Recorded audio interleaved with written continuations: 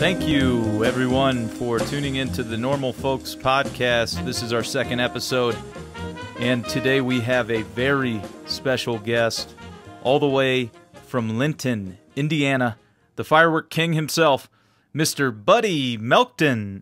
Hello, how y'all doing today? Thank you for having me here, Robert. Uh, God has blessed me with another day of breathing, and I am here and ready to go.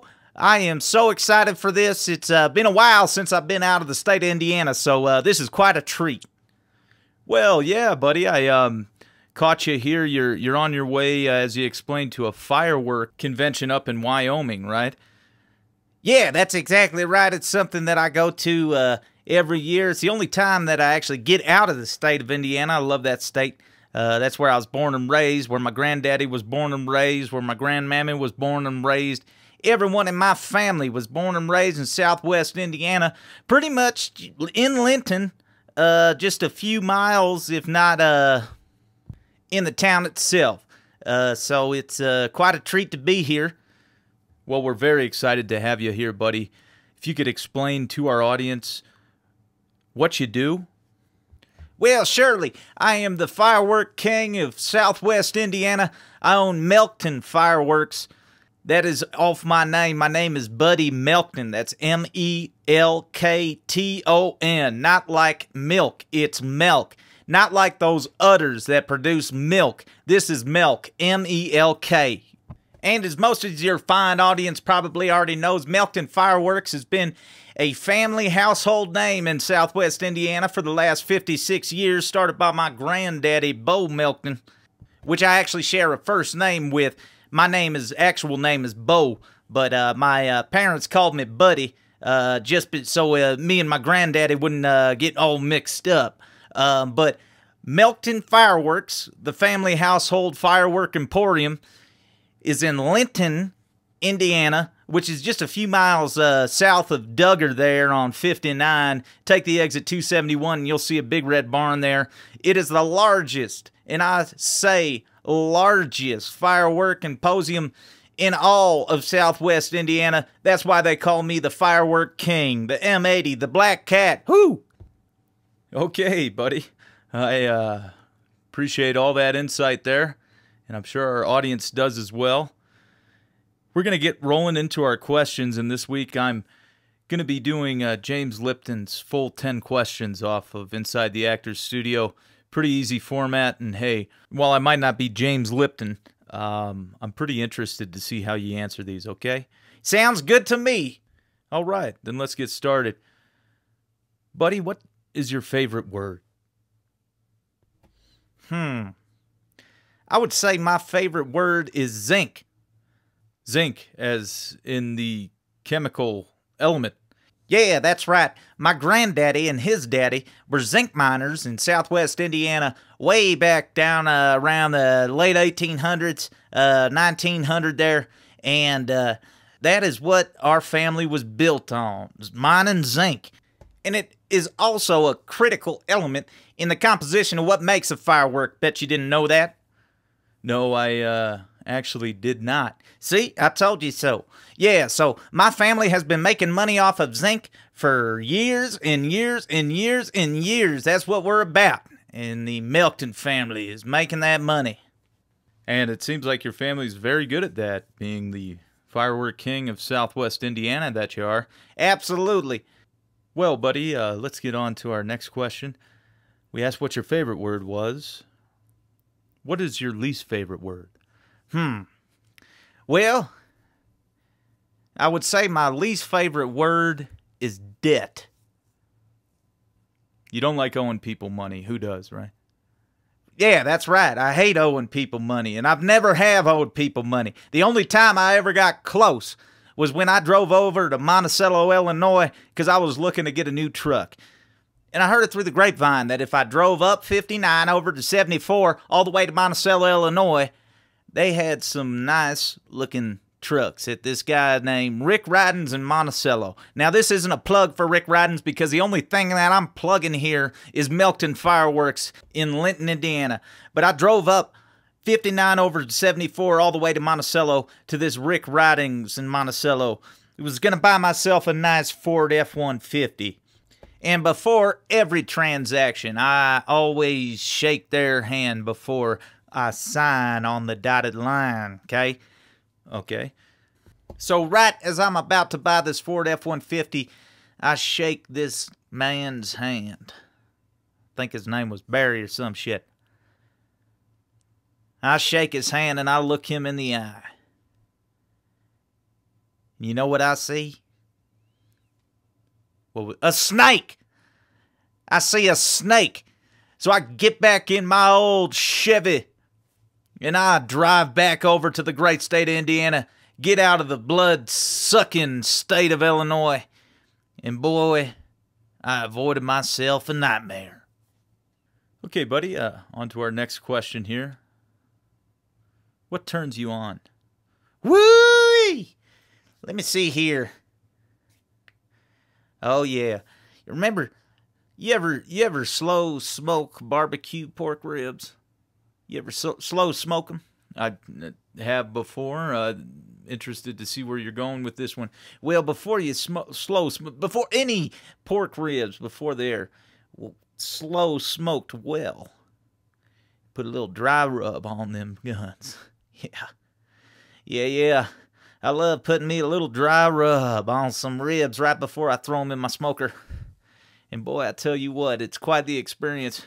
There's not too many things I know that are better than dry rubbing ribs before I put them in the smoker. Just putting my fingers and my hands on them. Whew. Starting to sweat. okay, okay, let's uh, move on to the next question here, buddy. Uh, what turns you off? Hmm.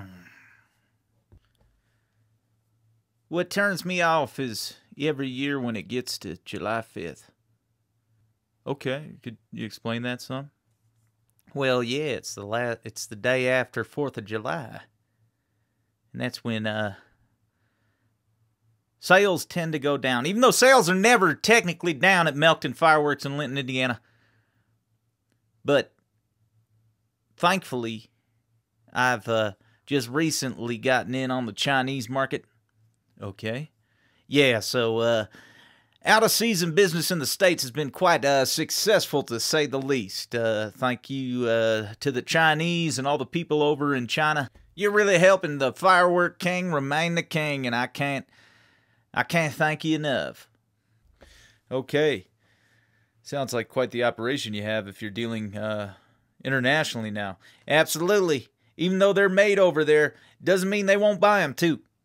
I imagine the uh, profit margins are pretty good if you're buying at a low price from China and then selling it right back to them. Absolutely, but keep it quiet. Hopefully, uh, not too many uh, people listen to this podcast and understand what I'm doing. Uh, I don't think you have to worry about that, uh, unfortunately, buddy. Well, good. Buddy, what sound do you love? My favorite sound, other than a M80 going off or a mortar tube that uh, when it shoots off into the sky. You don't have to go outside fireworks if that's your you know favorite sound. Well, no, I got a lot of favorite sounds. Hold on here a minute, son. My favorite sound is cicadas during the summertime in Indiana. Cicadas in the trees, chirping, whistling, making that buzzing sound they do, and sitting out on uh, the porch with my wife, Bonnie,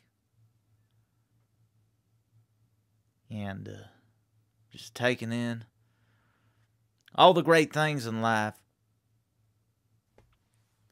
Could you expand on some of the things you love there, buddy? Well, the obvious ones are fireworks, zinc, cornbread, ribeye steaks, Steins. I got a huge Stein collection back at home, beer Steins. Speaking of beer, I love me some uh, Bud Light. Tony Stewart, he's a race car driver. When they stack a fresh stack of 2x4s at Home Depot, dilly bars down at the Dairy Queen. I'd say that's about it. Thank you for listing those there, buddy. Absolutely. What sound or noise do you hate? I hate this clicking sound that I got in my Chevy right now. I've been driving that thing since 1974. It's that same one that I have had. And it's clicking in the front. Haven't been able to figure out what it was. Took it into a, my cousin, Daryl. He uh he works on cars, but he's a dumb piece of shit. He couldn't figure it out, so I've just been driving it. It uh, seems to be doing fine. You know, I haven't been. Dri- I mean, I drove it over here. I'm driving it to Wyoming. That's about the you know the furthest distance I'll take it, which is quite a long distance. Yeah, absolutely. But uh, most of my traveling is just right in and around uh, Linton, Indiana, where Melkton Fireworks is, the firework emporium of uh, Southwest Indiana. I'm the firework king, Buddy Melkton, as our listeners know. So the clicking sound in your truck. Yeah, I've still been trying to figure out what uh what exactly it is. Think it might be something up in the carburetor. Wish I could have Tony Stewart come in and look at it, huh? That'd be pretty cool, huh? Yeah, I uh, think having a NASCAR driver looking at your uh, old Chevy truck would be. Uh, He'd probably love it. He'd probably offer to buy it from me, which I wouldn't sell it to him. Because who knows how much that thing's worth right now. That thing's an antique. You'd see that thing on American Pickers. Whoo! Hello. All right, there, buddy. Little nervous to ask this next question because I don't know how you'll answer it. But, buddy, what is your favorite curse word? Oh, this is an easy one. My favorite curse word is dipshit. Dipshit. Yeah, dipshit. My granddaddy used to call me dipshit all the time. He was so pissed off that uh, we were named the same. He, I'm pretty sure he did. He told me all the time. He's he was like, "I told your daddy not to name you that. You don't deserve that name." And I was like, "Well, it's my name. What can I do?" So he would call me dipshit all the time, and I used to envy him. I used to hold him to the highest standard, and him calling me dipshit. I was, it was an honor. It was a badge of honor because I was thinking someday that I'll have uh, grand grandkids and be able to f- pass along the family tradition of calling one of them dipshit. Do you have any grandkids right now? I do, except the Lord blessed me with four beautiful granddaughters, Robert. Oh, that sounds uh sounds great. It is. It is great. I would never on earth think of calling them dipshit, even though I have called some of their daddies that. What are their names, if you don't mind sharing? Absolutely. Darla, Sarah, Kara, Christine. And Bonnie and I have four children ourselves Brett, Brittany, and Jack, which bless us with those four beautiful granddaughters. And then we have a fourth son named Jasper who lives in our shed. He lives in your shed? That's right, he lives in our shed. We don't uh, charge him rent or anything. He just lives there. He's a kind of a loner, if you know what I mean there. Works in the Melkton Fireworks uh, warehouse. Could be upper management someday. We'll see how much he learns over the next 40 years. That's how long I'm planning on living. I'm 61 right now. Wow, so you want, hoping to live to be 101? That would be uh, quite the accomplishment. Absolutely, and uh, I think it's pretty likely. My granddaddy uh, lived to be 114. My grandmammy lived to be 98, I think it was.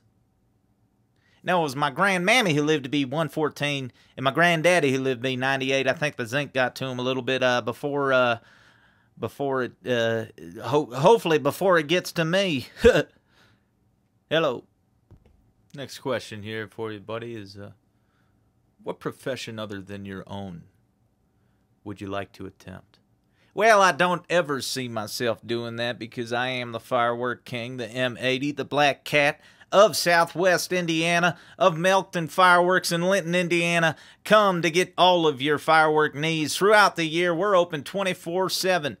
Jasper works the night shift, so uh, he'll greet you there. Don't worry about the mark on his face, it's just a grill mark. When he was 14, they were playing around outside in the yard, and uh, he, he stuck his face on the grill. But uh, other profession, huh? Other than the firework king, hmm, let me think here. Oh, that's an easy one. I'd want to be a NASCAR driver. So you got experience driving yourself? Absolutely, I got experience driving. I was the number one Pee Wee dirt track driver in Indiana, the state, the entire state, not just the South, not just the North, not just the East. I was not just the West.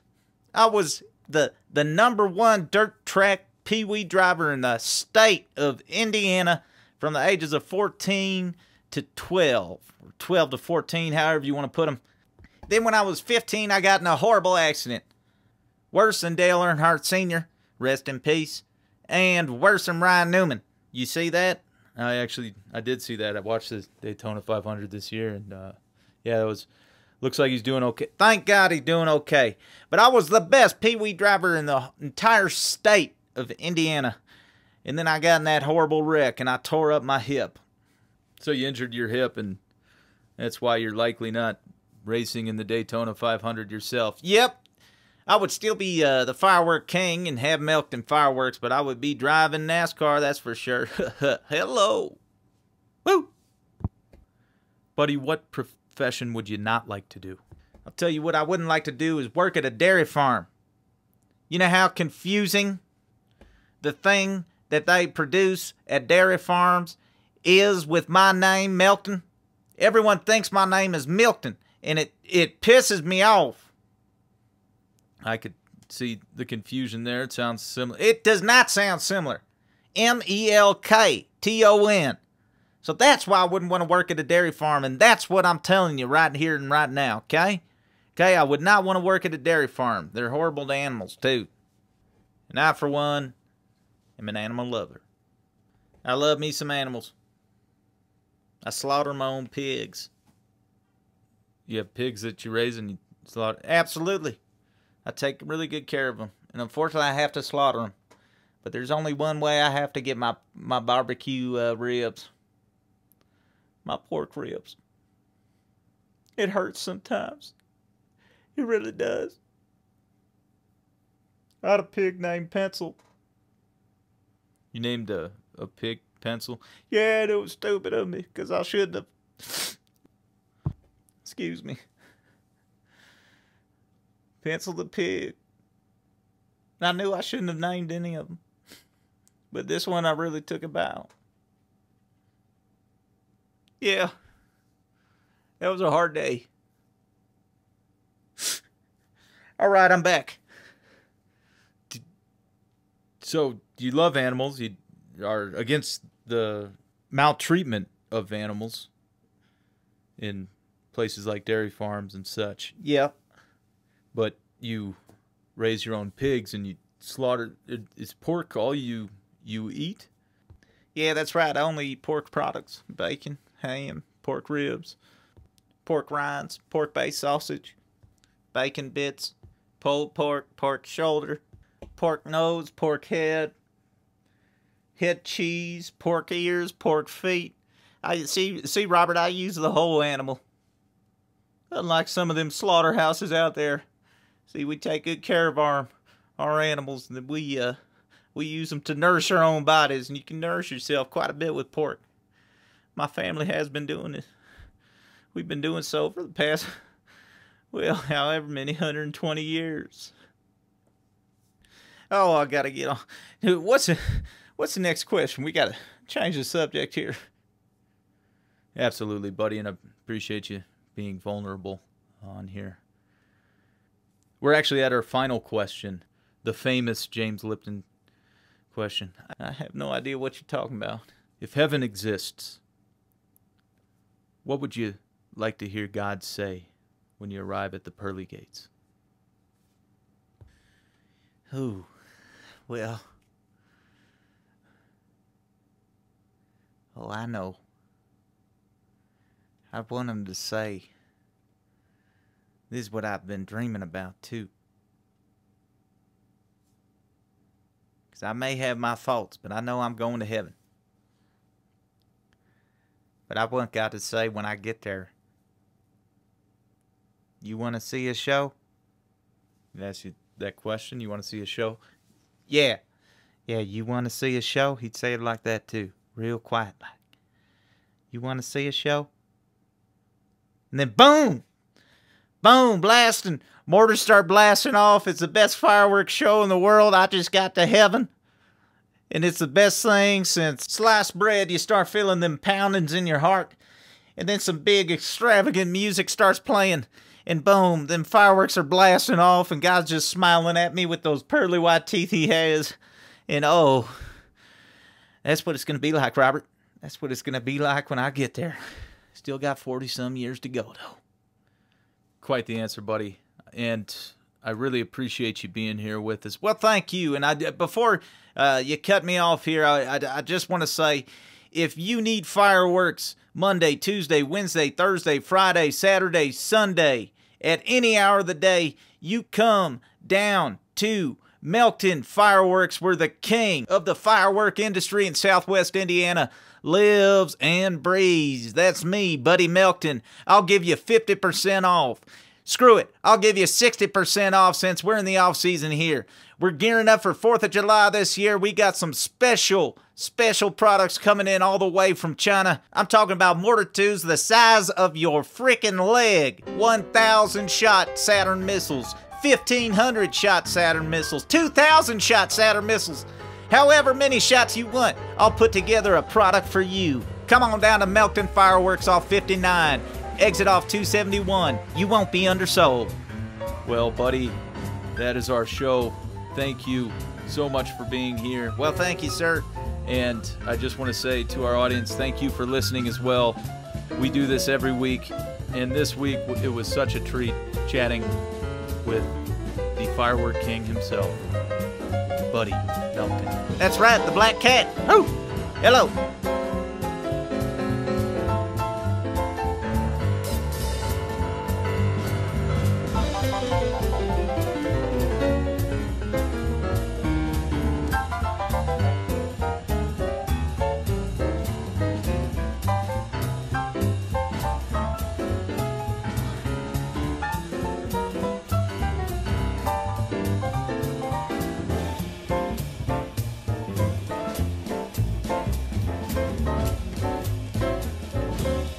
Hey, this is Robert Abbott of the Normal Folks Podcast, and thank you all for listening. The entire conversation you just listened to was completely improvised by myself, along with the character that I created. I hope you all enjoyed it.